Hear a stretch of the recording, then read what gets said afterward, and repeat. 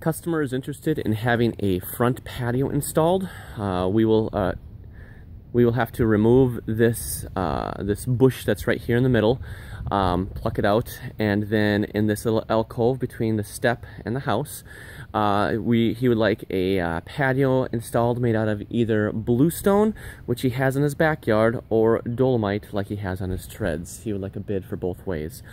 Um, on the near side, um, between where, where, it meets the grass, um, lining up with the front of that tread over there, uh, uh, uh, on the pre-existing step, he would like a sitting wall installed um, with two bump ups on each side. So the sitting wall will be 18 inches tall and um, the bump ups will be 10 inches tall. Uh, I give you those dimensions, that's 18 and 10 because that's 28 inches. Because um, on the other side here, he would like a pillar um, the same height on this side as well to match the pillar height over here.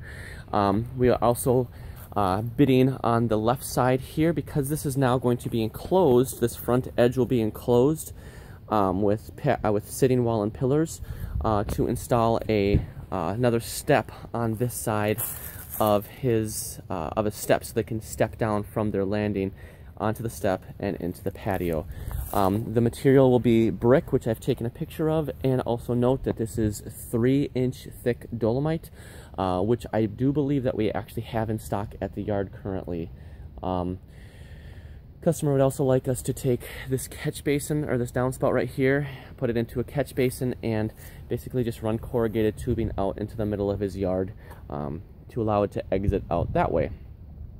Um, the materials, obviously, um, or the materials for the patio, um, he wants either bluestone or dolomite, and the um, the wall stone is going to be Fond du Lac and dolomite to match his house. Fond du Lac for the white stucco, dolomite obviously for the treads.